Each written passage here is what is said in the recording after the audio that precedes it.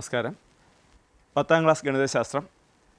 ഈ എപ്പിസോഡിലേക്ക് എല്ലാവർക്കും സ്വാഗതം. വൃത്തങ്ങൾ എന്ന രണ്ടാം യൂണിറ്റിന്റെ രണ്ടാം ഭാഗത്തിന്റെ ചർച്ചയിലൂടെയാണ് നമ്മളിപ്പോൾ കടന്നു പോകുന്നത് അപ്പോൾ കഴിഞ്ഞ ക്ലാസ്സുകളിൽ നമ്മൾ എന്താണ് കണ്ടത് അല്ലെങ്കിൽ എന്താണ് പഠിച്ചത് എന്ന് നമുക്ക് ഒന്നുകൂടെ അതിലേക്ക് പോകാം. ഒരു ചാപം വൃത്തത്തിലും അതുപോലെ അതിന്റെ കേന്ദ്രത്തിലും ഉണ്ടാക്കുന്ന കോണുകളുടെ ബന്ധങ്ങളാണ് നമ്മൾ അവിടെ പഠിച്ചത്. ഒരു ആർക്ക് സർക്കിളിലും സർക്കിളിന്റെ സെന്ററിലും ഉണ്ടാക്കുന്ന ആംഗിൾസിന്റെ സവിശേഷതകളാണ് നമ്മളവിടെ പഠിച്ചത്. എന്തൊക്കെയാണ് അവിടെ പഠിച്ചത്? കഴിഞ്ഞ ദിവസം പറഞ്ഞു ഒരു ചാപം ഒരു വൃത്തത്തിൽ മൂന്ന് തരം കോണുകളാണ് ഉണ്ടാക്കുന്നത്. ഒന്ന് എന്താണ്? എന്തൊക്കെയാണ് ആ കോണുകൾ? ഒന്ന് ചാപത്തിലെ തന്നെ കോൺ. ഇവിടെ എ പി ബി എന്ന് പറയുന്ന ഒരു ചാപമാണ്. ആ ചാപത്തിലൊരു കോണുണ്ട്. അതാണ് ചാപത്തിലെ കോണെന്ന് പറയുക. Angle within the arc okay രണ്ടാമത്തതെന്ന് പറയുന്ന സെൻ ചാപത്തിന്റെ കേന്ദ്ര കോൺ. അതായത് സെൻട്രൽ ആംഗിൾ എന്ന് പറയും. മൂന്നാമത്തത് ഈ ചാപത്തിന്റെ മറുചാപത്തിലെ കോൺ എന്ന് പറയുന്നത്. അതായത് angle in the alternate arc അപ്പോൾ ഇതിൽ ഏതെങ്കിലും ഒരു അളവ് അറിയാമെങ്കിൽ ബാക്കിയെല്ലാം നമുക്ക് കണ്ടുപിടിക്കാം. എങ്ങനെയാണ്? ഒരു ചാപത്തിന്റെ കേന്ദ്രകോൺ സി ഡിഗ്രിയാണ് എങ്കിൽ അതിന്റെ അൾട്ടർനേറ്റ് ആർക്ക് അഥവാ മറുചാപത്തിന്റെ കോൺ എന്ന് പറയുന്നത് സിയുടെ പകുതി അതായത് സി ബൈ ടു ആയിരിക്കും. അതുപോലെ തന്നെ ആ ചാപത്തിൽ ഉള്ള ഒരു കോൺ ഞാൻ പറഞ്ഞു. ആ ചാപത്തിലുള്ള ആംഗിൾ വിത്തിൻ ദ ആർക്ക് ആ ആർക്കിലുള്ള കോൺ കാണാനായിട്ട് എന്ത് ചെയ്താൽ മതി? നൂറ്റി എൺപതിൽ നിന്ന് ആ ചാപത്തിന്റെ കേന്ദ്രകോണിന്റെ പകുതി കുറച്ചാൽ മതി. അതായത് one eighty minus C by two അപ്പോൾ ഇതുമായി ബന്ധപ്പെട്ട ഒരു ആശയം നമ്മൾ അവിടെ പഠിച്ചായിരുന്നു. എന്താണ്? ഒരു ചാപത്തിന്റെ കേന്ദ്രകോണിന്റെ പകുതിയാണ് അതിന്റെ മറുചാപത്തിലെ കോൺ എന്നാണ്. അതായത് angle formed on the alternate arc is always half of the central angle of the arc central ആംഗിളിന്റെ half ആയിരിക്കും അൾട്ടർനേറ്റ് ആർക്കിൽ വരുന്ന ആംഗിളിന്റെ അളവ് എന്ന് പറയുന്നത്. അപ്പോൾ ഇതുമായി ബന്ധപ്പെട്ടൊരു അസൈൻമെന്റ് കഴിഞ്ഞ ക്ലാസ്സിൽ തന്നായിരുന്നു. എല്ലാവരും ചെയ്തായിരുന്നോ? ചെയ്ത് കാണുമെന്ന് വിശ്വസിക്കുന്നു. എന്നാലും അതൊന്ന് എക്സ്പ്ലെയിൻ ചെയ്യാം. ഇതായിരുന്നു ആ question in the picture O is the centre of the circle and A B C are points on it prove that angle O A C plus angle A B C equal to ninety degree എന്നാണ് prove ചെയ്യാനുള്ളത്. ചിത്രത്തിൽ O വൃത്തത്തിന്റെ കേന്ദ്രവും A B C വൃത്തത്തിലെ ബിന്ദുക്കളുമാണ്. Angle O A C plus angle A B C equal to ninety degree എന്നാണ് നമുക്കിവിടെ തെളിയിക്കാനുള്ളത്. എങ്ങനെ തെളിയിച്ചത്? അപ്പോൾ കേന്ദ്രകോണം എന്നുള്ള ആശയം ഉപയോഗിച്ചാണ് നമ്മളവിടെ തെളിയിച്ചത്. അല്ലെങ്കിൽ നിങ്ങൾ തെളിയിച്ചത്. അല്ലേ? എങ്ങനെയാണെന്ന് ഒന്നുകൂടെ ഒന്ന് പറയാമോ? ഞാനൊന്ന് ചുരുക്കി പറയാം. ഇവിടെ നമ്മൾ ഒ സി എന്ന വര യോജിപ്പിച്ച് അല്ലെങ്കിൽ വരച്ച് ചേർത്ത് ഒരു കേന്ദ്രകോൺ ഉണ്ടാക്കി. ഇപ്പോൾ രണ്ട് കോണുകളുടെ തുക അതായത് ഒ എ സി എന്ന് പറയുന്ന കോണിന്റെയും എ ബി സി എന്ന് പറയുന്ന കോണിന്റെയും സമ്മ് അഥവാ തുക നയന്റി ഡിഗ്രി എന്ന് പ്രൂവ് ചെയ്യണം. അതിന് എളുപ്പമായിട്ട് രണ്ട് വേരിയബിൾ എടുക്കുന്നതാണ് നല്ലത്. അല്ലേ?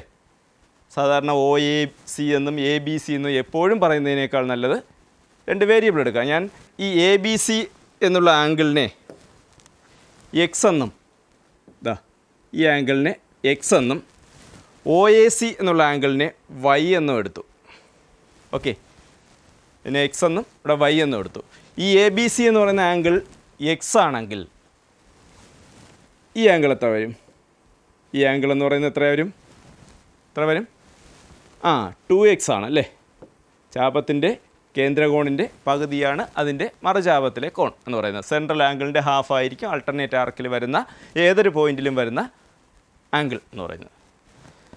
അതുപോലെ തന്നെ ഈ ആംഗിൾ അതായത് ഒ എ സി എന്ന് പറയുന്ന ആംഗിൾ വൈ എന്നെടുത്തു.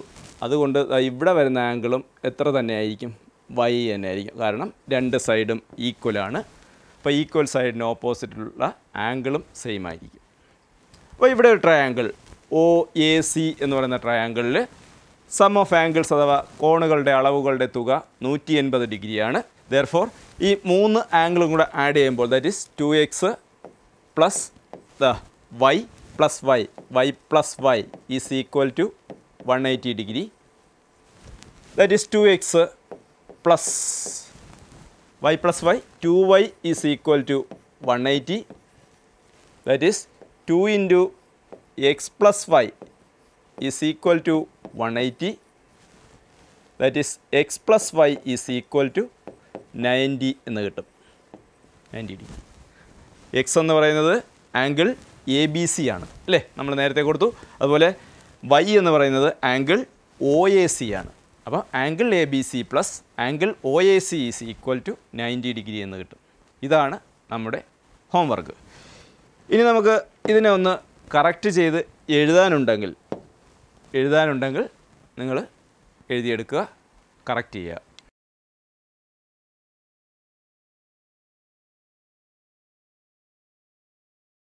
ഈ ആശയത്തെ ഉപയോഗപ്പെടുത്തി നമുക്ക് ചില നിർമ്മിതികൾ പരിശോധിക്കാം.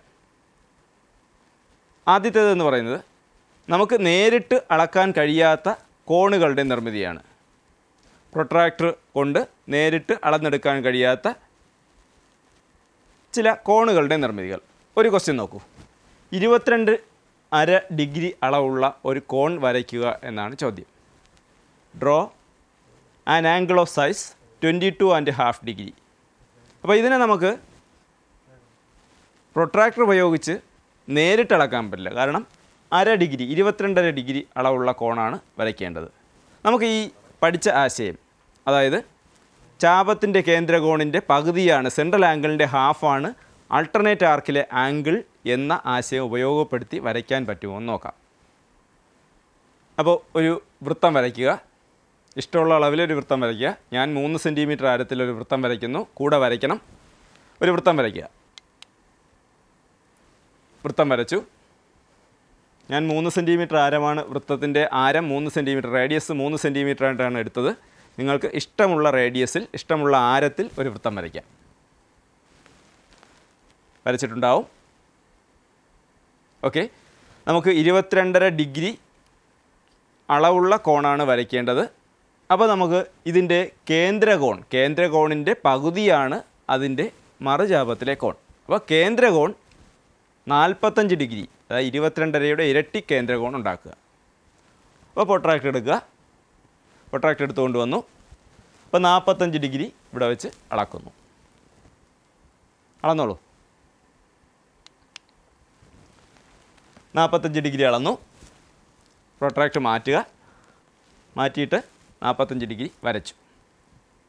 ഇത് കേന്ദ്രകോണാണ് നാൽപ്പത്തഞ്ച് ഡിഗ്രി. അല്ലേ? കേന്ദ്രകോണാണ് അപ്പം ഈ കേന്ദ്രകോണിന്റെ ആൾട്ടർനേറ്റ് ആർക്കിൽ അല്ല ഈ ആർക്കിന്റെ മറുചാപത്തിൽ അഥവാ ആൾട്ടർനേറ്റ് ആർക്കിൽ ഏത് കോണുണ്ടാക്കിയാലും ഇതിന്റെ അളവിന്റെ കേന്ദ്രകോണിന്റെ സെൻട്രൽ ആംഗിളിന്റെ പകുതിയായിരിക്കുമെന്നാണ് അപ്പോൾ ഇതിനെ ബാക്കിലോട്ട് വരച്ച് വരച്ച് വൃത്തത്തിലൊരു പോയിന്റിൽ ജോയിൻ ചെയ്താൽ മതി. ഞാൻ വരയ്ക്കുന്നു. വരച്ചു. ചാപത്തിന്റെ ഒരു എൻഡ് മറുചാപവുമായി യോജിപ്പിച്ചു. മറ്റേ എൻഡും കൂടെ യോജിപ്പിക്കുക. ചാപത്തിന്റെ കേന്ദ്രകോണായ നാൽപ്പത്തഞ്ച് ഡിഗ്രിയുടെ പകുതിയായിരിക്കും ഇപ്പോൾ വരച്ച മറുചാപത്തിൽ അടയാളപ്പെടുത്തിയ കോൺ. അല്ലേ? ഇരുപത്തിരണ്ട് ഡിഗ്രി കോണായില്ലേ? എങ്ങനെ വരച്ചു എന്ന് ഒന്നുകൂടെ നോക്കുക മൂന്ന് സെന്റിമീറ്റർ ആരത്തിൽ? മൂന്ന് സെന്റിമീറ്റർ റേഡിയസിൽ ഒരു സർക്കിൾ വരച്ചു. സർക്കിൾ വരച്ചിട്ട് നമുക്ക് ഇരുപത്തിരണ്ടര ഡിഗ്രി കോണാണ് ഉണ്ടാക്കേണ്ടത്.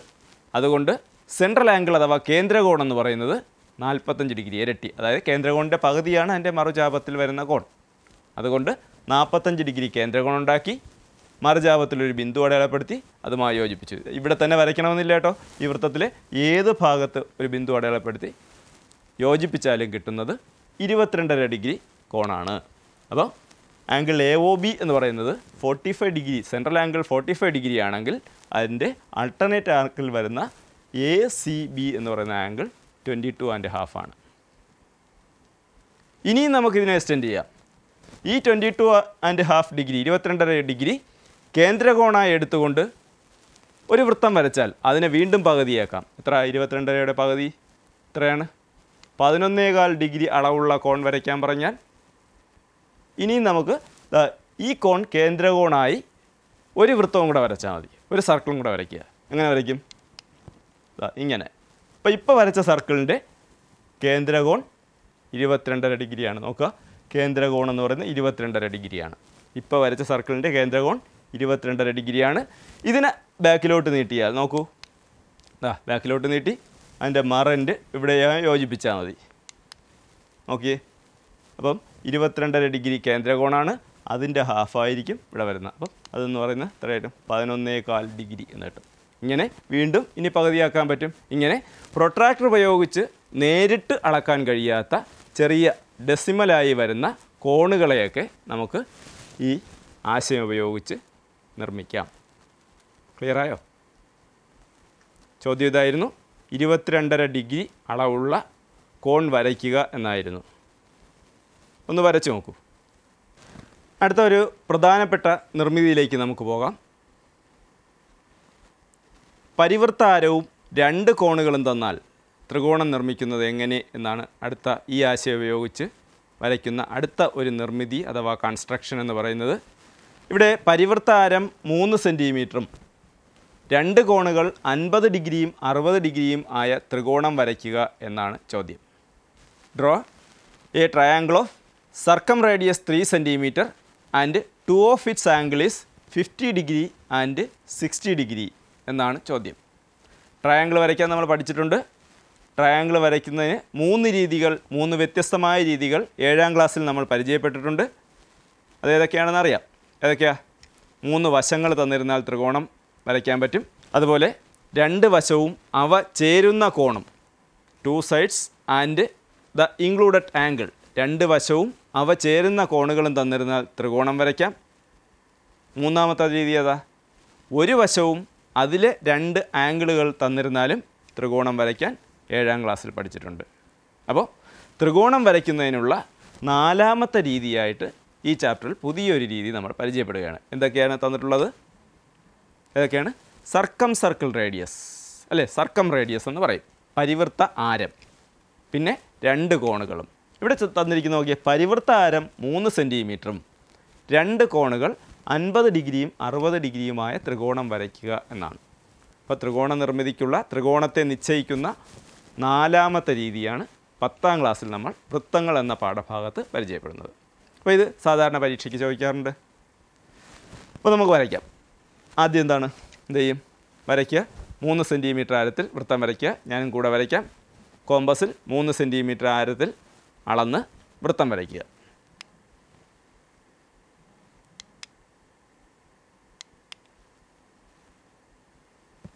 ഓക്കെ.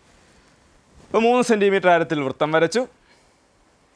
വൃത്തം വരച്ച ശേഷം അൻപത് ഡിഗ്രി അറുപത് ഡിഗ്രി ആണ് കോണുകൾ ത്രികോണത്തിന്റെ കോണുകൾ.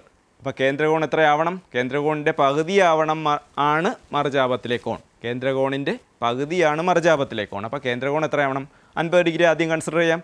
അൻപത് ഡിഗ്രി പരിഗണിച്ചാൽ കേന്ദ്രകോൺ എത്രയാവണം? നൂറാവണം. അപ്പോൾ പ്രൊട്രാക്ടർ എടുത്ത് പ്രൊട്രാക്ടർ എടുത്ത് നൂറ് ഡിഗ്രി അളക്കണം. അളന്നോളൂ. പ്രൊട്രാക്ടർ എടുത്തു. നൂറ് ഡിഗ്രി മാർക്ക് ചെയ്തു. അത് യോജിപ്പിക്കുക.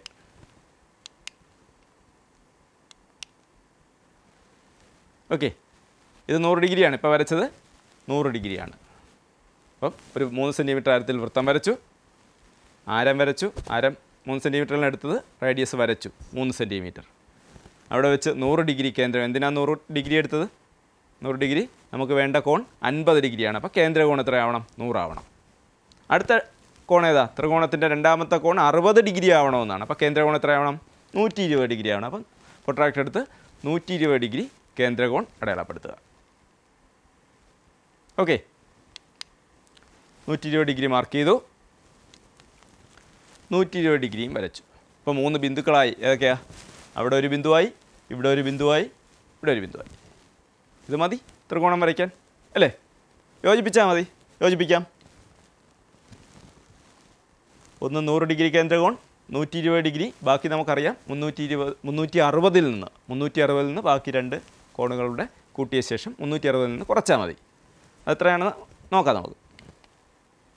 ത്രികോണം വരയ്ക്കുന്നു. മൂന്ന് വശമായി. പേരും കൊടുത്തു.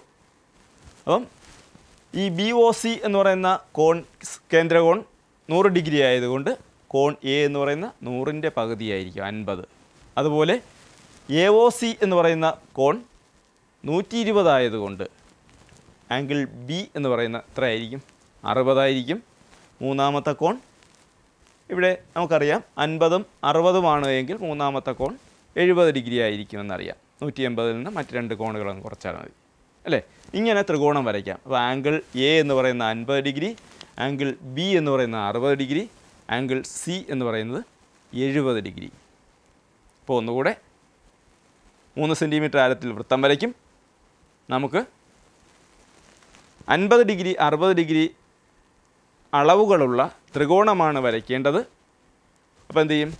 നൂറ് ഡിഗ്രി നൂറ്റി ഇരുപത് ഡിഗ്രി കേന്ദ്രകോൺ. യഥാക്രമം നൂറ് നൂറ്റി ഇരുപത് കേന്ദ്രകോൺ. സെൻട്രൽ ആംഗിൾ ഫോം ചെയ്യുക. സർക്കിൾ വരച്ച് central angle hundred degree hundred and twenty central angle make ചെയ്യുക just join the points okay അപ്പം ചാപത്തിന്റെ കേന്ദ്രകോണിന്റെ പകുതിയാണ് അതിന്റെ മറുചാപത്തിൽ വരുന്ന കോൺ എന്ന ആശയം ഉപയോഗിച്ചുള്ള കൺസ്ട്രക്ഷനാണ് ഒന്നുകൂടെ ഓർത്തിരിക്കുക ത്രികോണ നിർമ്മിതിക്കുള്ള നാലാമത്തെ രീതിയാണ്. മൂന്ന് രീതി നമ്മൾ നേരത്തെ പറഞ്ഞ പോലെ ഏഴാം ക്ലാസ്സിൽ പഠിച്ചിട്ടുണ്ട്.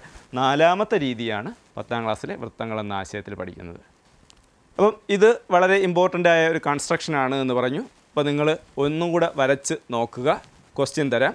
Draw a triangle of circumradius four centimetre and two of its angles are fifty seven and half degree and sixty two and half degree പരിവർത്താരം നാല് സെന്റിമീറ്ററും രണ്ട് കോണുകൾ അൻപത്തേഴ് ഡിഗ്രിയും അറുപത്തിരണ്ടര ഡിഗ്രിയുമായ ത്രികോണം വരയ്ക്കുക എന്നുള്ള ചോദ്യം നേരത്തെ വരച്ചതുപോലെ തന്നെയാണ്. ഒന്ന് വരച്ചു നോക്കുക. ഞാനിവിടെ സഹായിക്കാം. വരയ്ക്കുന്നത് എങ്ങനെയെന്ന് ഞാൻ എക്സ്പ്ലെയിൻ ചെയ്യാം.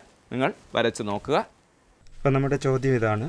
പരിവർത്താരം നാല് സെന്റിമീറ്ററും രണ്ട് കോണുകൾ അൻപത്തിയേഴര ഡിഗ്രിയും അറുപത്തിരണ്ടര ഡിഗ്രിയുമായ ത്രികോണം വരയ്ക്കുക എന്നുള്ളതാണ്.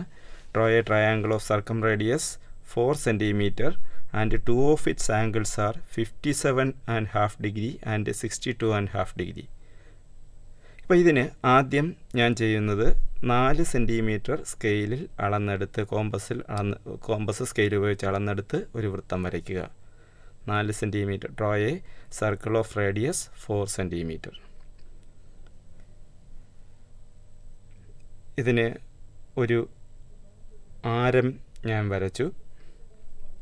ഓർക്കുക റേഡിയസ് ഇവിടെ വരച്ചു. റേഡിയസ് ഫോർ സെന്റിമീറ്റർ ആണ്. അതിന് എ എന്ന പേരും കൊടുത്തു. ഇനി നമുക്ക് രണ്ട് കോണുകൾ നോക്കുക. അൻപത്തി ഏഴര ഡിഗ്രിയും അറുപത്തി രണ്ടര ഡിഗ്രിയുമാണ് വേണ്ടത്. അപ്പോൾ കേന്ദ്രകോൺ നമുക്ക് എത്രയാക്കണം? അൻപത്തി ഏഴരയുടെ ഇരട്ടി എത്രയാണ്? നൂറ്റി പതിനഞ്ച് ഡിഗ്രി കേന്ദ്രകോൺ ഉണ്ടാക്കണം. അപ്പോൾ central angle one one five നൂറ്റി പതിനഞ്ച് ഡിഗ്രിയാക്കി വരയ്ക്കുക.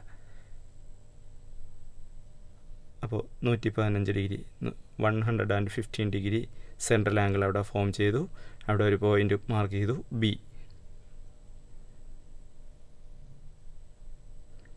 ഇനി അടുത്ത ആംഗിൾ എന്ന് പറയുന്നത് സിക്സ്റ്റി ടു ആൻഡ് ഹാഫ് ഡിഗ്രിയാണ് അല്ലേ? അപ്പോൾ സെൻട്രൽ ആംഗിൾ എത്രയാക്കണം? സിക്സ്റ്റി ടു ആൻഡ് ഹാഫ് ഡിഗ്രിയുടെ ഡബിളായ വൺ ട്വന്റി ഫൈവ് ആണ് വേണ്ടത് അല്ലേ? വൺ ട്വന്റി ഫൈവ് ഡിഗ്രി പൊട്രാക്ടറിൽ അളന്നെടുത്ത് ഒരു സെൻട്രൽ ആംഗിൾ ഫോം ചെയ്യുക. ഫോം ചെയ്ത് കഴിഞ്ഞു. അതിന് സി എന്നും പേര് കൊടുത്തു.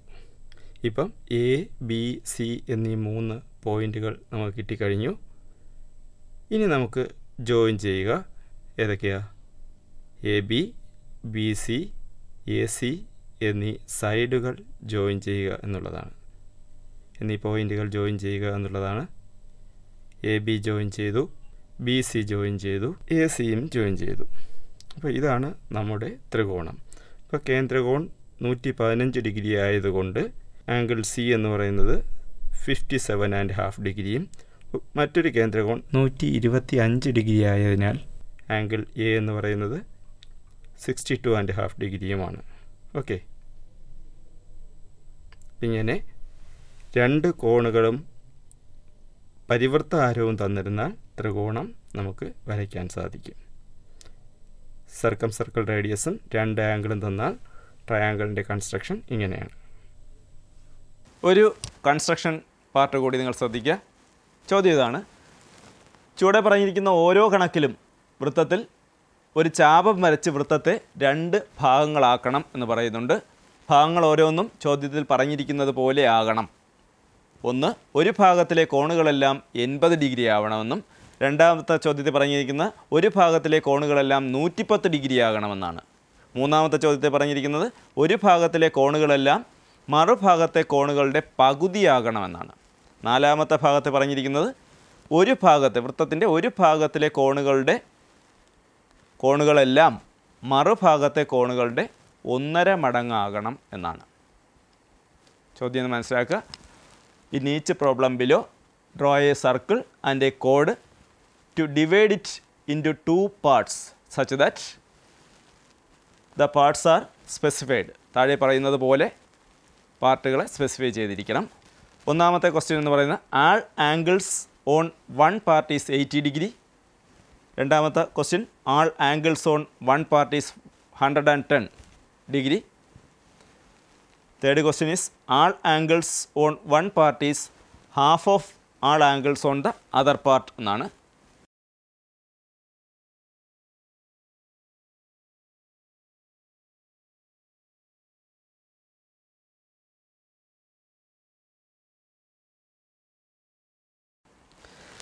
അപ്പോൾ ഒരു സർക്കിളും അതിലൊരു ചാപവും വരച്ച് വൃത്തത്തെ രണ്ട് ഭാഗമാക്കാനാണ് പറഞ്ഞിരിക്കുന്നത്.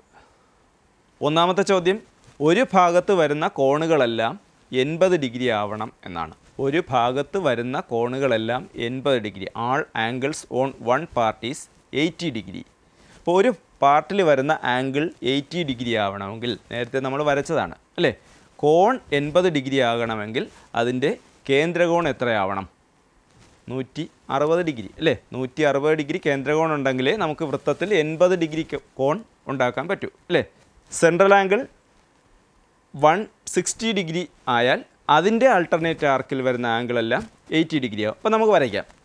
വരച്ചോളൂ. ഒരു സർക്കിൾ വരയ്ക്കാം. സർക്കിൾ വരച്ചു. എന്റെ റേഡിയസ് എത്രയാണെന്ന് നിങ്ങൾ സ്പെസിഫൈ ചെയ്താൽ മതി. റേഡിയസ് ഇവിടെ റേഡിയസ് ഒന്നും പറഞ്ഞിട്ടില്ല. അപ്പോൾ ഒരു ഭാഗത്തെ കോണുകളെല്ലാം എൺപത് ഡിഗ്രി ആവണം. അപ്പോൾ സെൻട്രൽ ആംഗിൾ അഥവാ കേന്ദ്രകോൺ എന്ന് പറയുന്നത് എത്രയാവണം?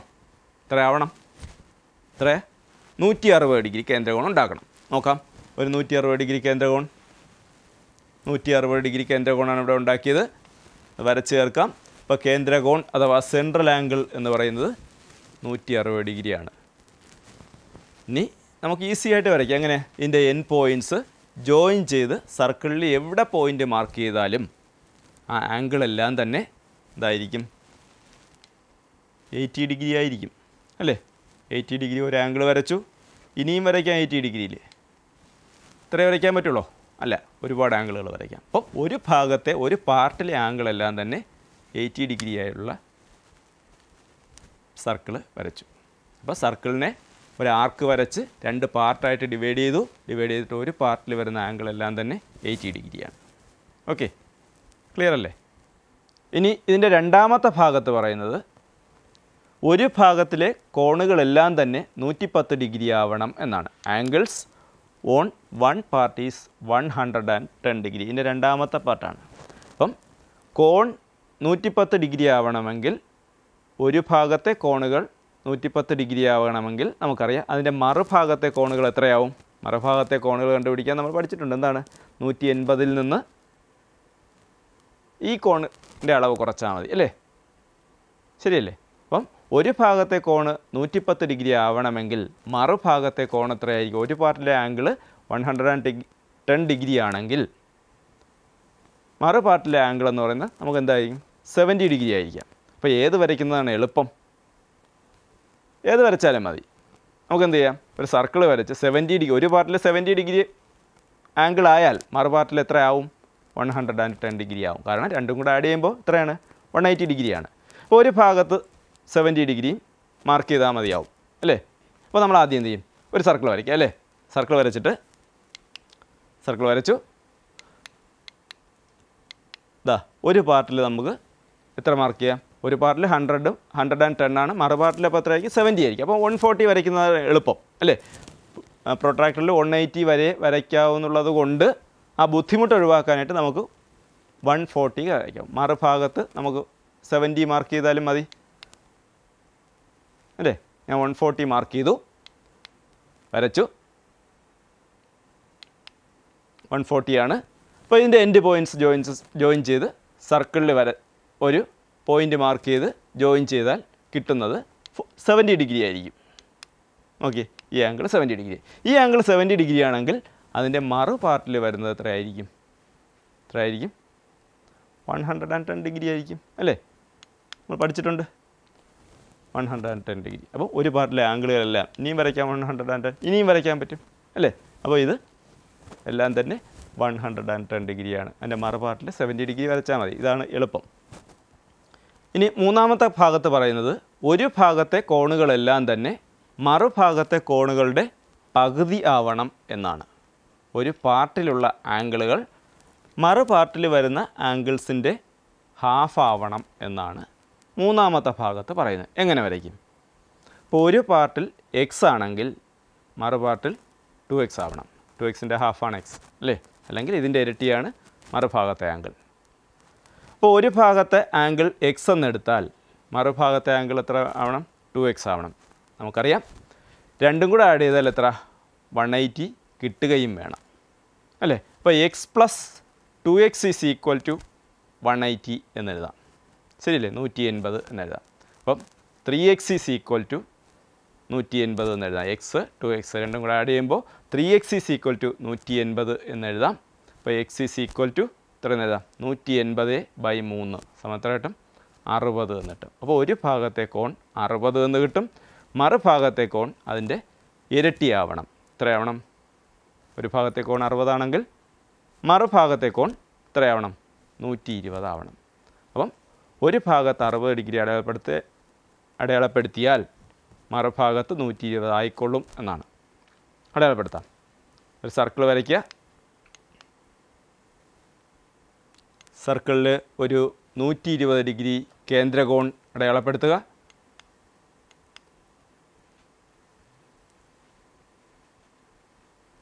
അടയാളപ്പെടുത്തി അല്ലേ? ശേഷം യോജിക്കുക.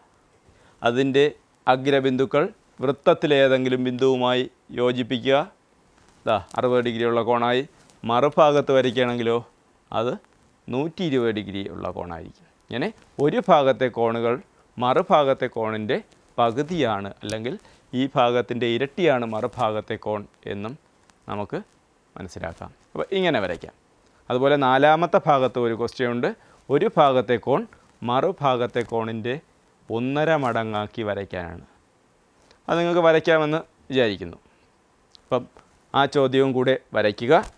അതുപോലെ നേരത്തെ പരിവർത്താരം നാല് സെന്റിമീറ്ററും സർക്കം റേഡിയസ് ഫോർ സെന്റിമീറ്ററും രണ്ട് ആംഗിൾസ് അൻപത്തി ഏഴര ഡിഗ്രി അറുപത്തിരണ്ടര ഡിഗ്രിയുമായ ട്രയാങ്കിൾ കൺസ്ട്രക്ഷന്റെ ഒരു ക്വസ്റ്റ്യൻ തന്നായിരുന്നു. ഈ രണ്ട് ക്വസ്റ്റ്യനും വരച്ച് നോക്കുക. ഈ ഭാഗത്ത് വരുന്ന കൺസ്ട്രക്ഷൻ ഈ മൂന്നെണ്ണമാണ്. മൂന്ന് കൺസ്ട്രക്ഷനും ഒന്നുകൂടി വരച്ച് നോക്കുക. കൂടുതൽ ക്വസ്റ്റ്യൻ കണ്ടെത്തി കൂടുതൽ കൂടുതൽ വരച്ച് നോക്കുക.